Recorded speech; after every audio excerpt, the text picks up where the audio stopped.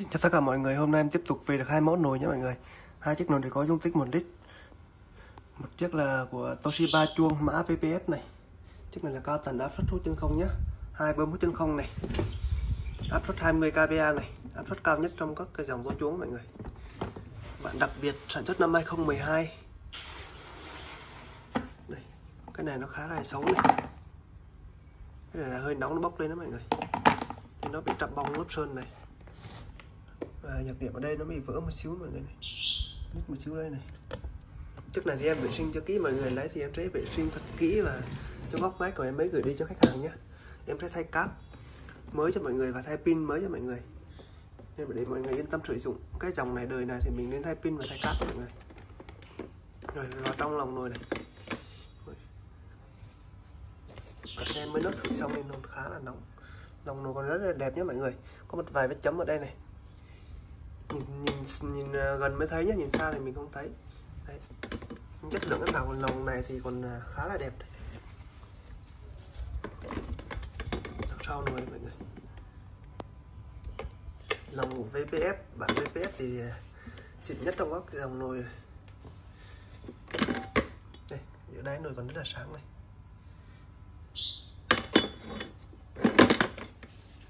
Đây ron con này ron này tuy test không xì nhưng mà nó khá là vàng đấy mọi người.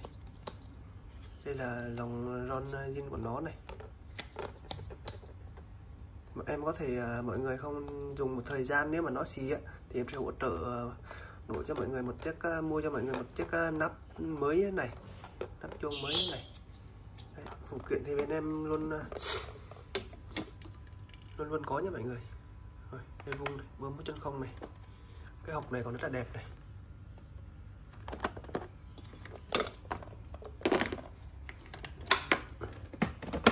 VPF sản xuất năm 2012 bản đặc biệt. Bản giới hạn nhé mọi người bản giới hạn. Chất lượng nổi còn như thế này là còn khá là đẹp nhé. Rồi chiếc này em đang bán với giá là 4 triệu rưỡi đi. 4 triệu rưỡi mọi người mà muốn à, thay à, nắp vùng mới á, thì thêm cho em 1 triệu nữa mọi người. Thêm cho em 800 nghìn đi. Là mình à, em phải hỗ trợ khách hàng. Thêm đến 800 nghìn là mình lấy cái nguyên cái nắp này mới luôn này. Mình dùng thế này vẫn đang dùng được nhé mọi người nó không bị xì hơi gì cả nhé. Mình vẫn dùng bình thường nhé. Rồi tiếp theo. Là chiếc um, Yoshi giảm đường nha mọi người. Nhưng những món này thì nó giảm được khoảng à, uh, 5 đến 10 phần trăm mọi người. Nó chuyển hóa từ đường hấp thụ qua đường không hấp thụ nhé mọi người rồi, mẫu này thì đời 2020 xung quanh thì không ờ, đời 2020 mọi người biết rồi. Xung quanh thì còn là mới này. Không có biển vỡ gì.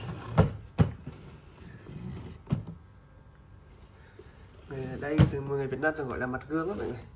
Yuji mặt gương. Con voi này. Màn hình lớn nhá mọi người. Đây vào bên trong.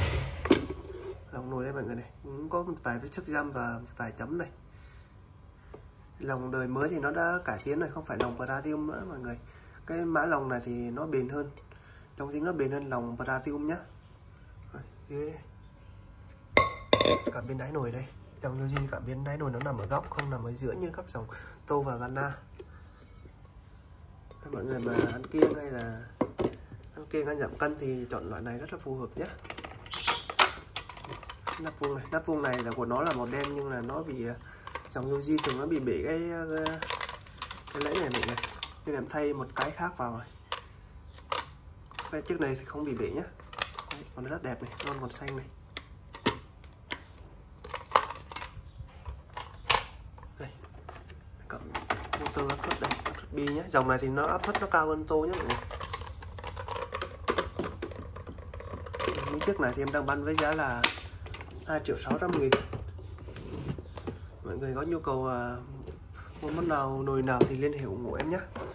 Rồi xin chào tất cả mọi người. Cảm ơn mọi người đã theo dõi video.